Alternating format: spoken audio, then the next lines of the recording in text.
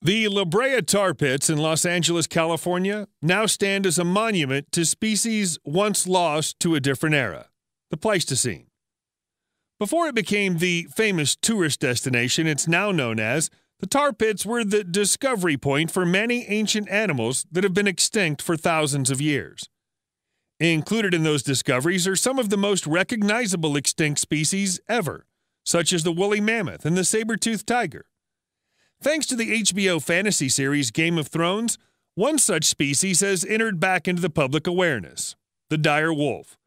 And of course, when speaking of ancient animals, one of our favorite things to do is to compare and contrast the attributes of these animals to those that exist today.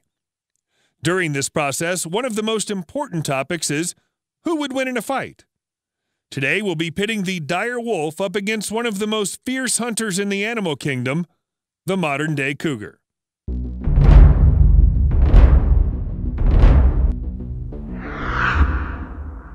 The dire wolf was a savage predator which existed during the changeover from the Pleistocene to the early Holocene epochs, which we now know as the Late Ice Age.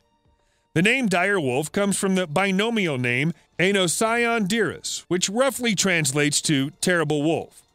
These terrible wolves belong firmly in the family of canines as predecessors to animals such as the gray, Yukon, and northwestern wolves.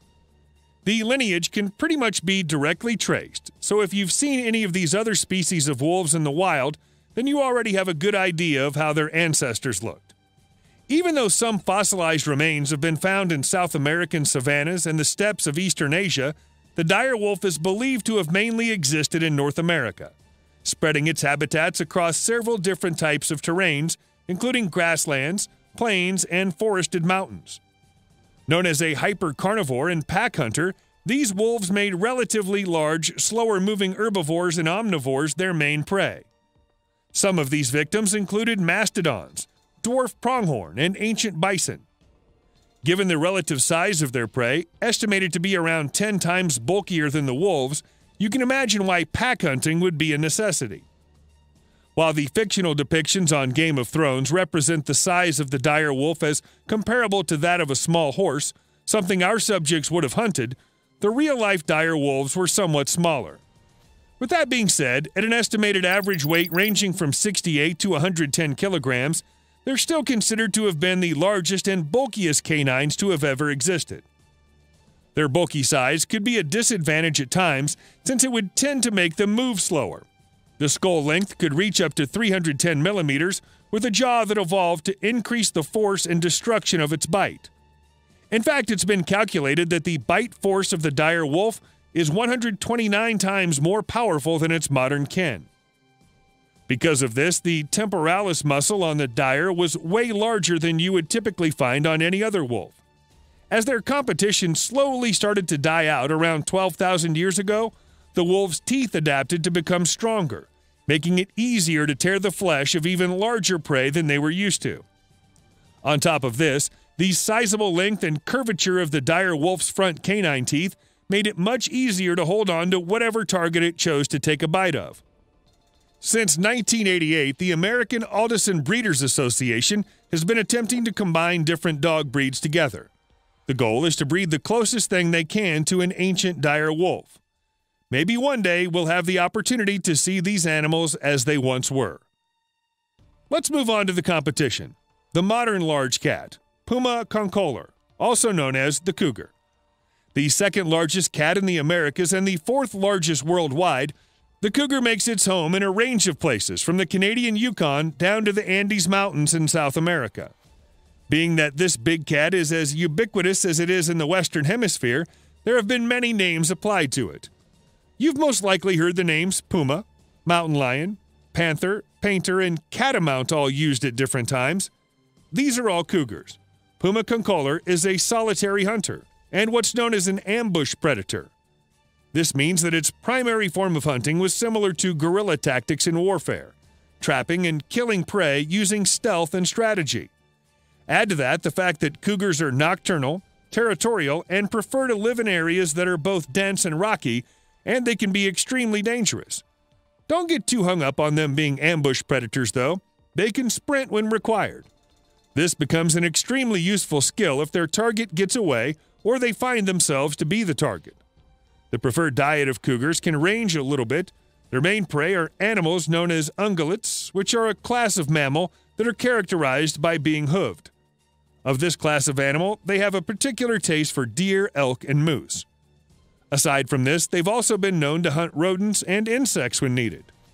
While all of this sounds like the makings of an apex predator, the cougar has not been given that classification. This is because it will yield food from a kill to other animals such as grizzly bears, alligators, and gray wolves.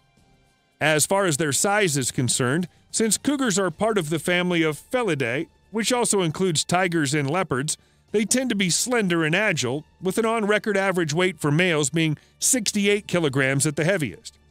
There have been claims of cougars being found weighing upwards of 105 to 125 kilograms, but none of this has been substantiated. The only other big cats that are on average larger than cougars are lions, tigers, and jaguars.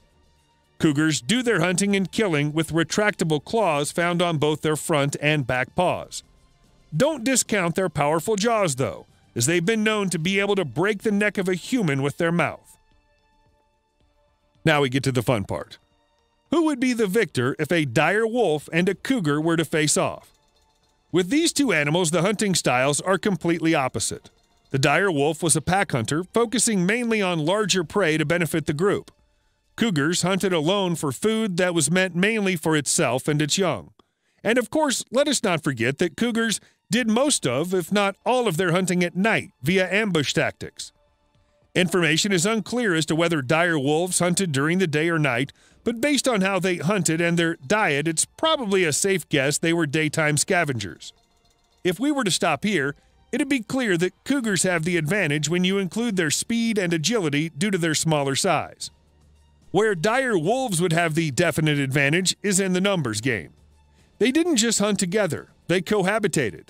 The pack was always together. Since cougars attack alone, even with the element of surprise, they'd be lucky to take down one or two of the dire wolves before being overwhelmed by the rest of the pack. At this point, things could swing either way, as both species seem to have more or less equal advantages and disadvantages. There is an X factor to consider when comparing and contrasting. This would be the fact that cougars are known to submit to larger or more powerful predators if that larger predator decides that they want the cougar's food for themselves. One such predator that cougars yield to is the gray wolf, which, as mentioned before, descended from the dire wolf. Based off this additional information, you could easily draw the conclusion that if presented with a similar situation with a pack of dire wolves, a cougar will easily back down. We think that at this point, the fight is easy to call. The winner? The dire wolf.